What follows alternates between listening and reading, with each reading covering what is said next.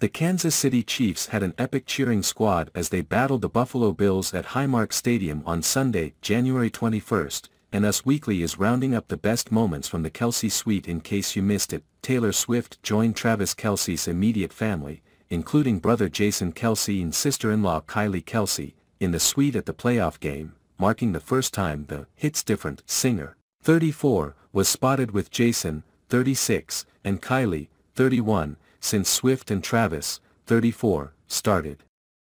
dating during summer 2023. Jason and Travis' parents, Ed Kelce and Donna Kelce, who Swift has spent time with at previous games, were also in the suite, while there's been conflicting opinions on how often the NFL showcases Swift in the stands at Travis games, there was no shortage of sweet moments captured on Sunday.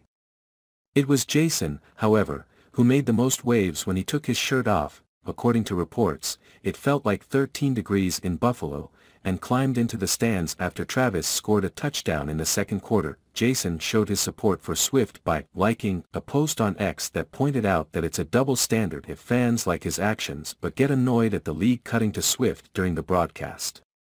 Wondering if a cutaway of a shirtless at Jason Kelce screaming and holding a beer to celebrate his brother's touchdown is ruining anyone's entertainment value of this game out there, the post reads, the Chiefs ultimately won 27-24 and are set to play the Baltimore Ravens on Sunday, January 28.